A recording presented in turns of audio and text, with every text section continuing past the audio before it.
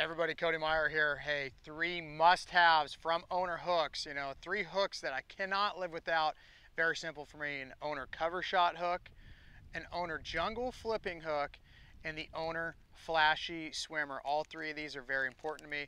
Let's talk about the hook. Starting with the flashy swimmer, you know, this has been a, a really cool hook for me. You know, it's a little bit different. You can see it's gonna have the centering pin here from Owner.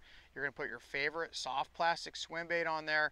Uh, and one thing that's very cool is as it's going through and it's ticking grass, ticking rocks, whatever it might be, this is going to slide around and it's going to have, a, you know, a, a, different flash. It's just a different look. Of course, it's going to be completely weedless when you put your, your favorite soft plastic bait on there. This thing is deadly in that heavy, heavy grass. You know, next, the, uh, the Owner Jungle Flipping Hook. You know, for the last four or five years, this thing has been really, really key for me when I go flipping. You know, this hook is extremely strong. Uh, it's a straight shank hook. It's got the, the silky gray on here, the coating. So, you know, when you get that bite, you're gonna get a lot better hook penetration. Plus it's got this fluorocarbon weed guard on there. So it's gonna really hold your bait. I caught some big bass in that thick grass with that.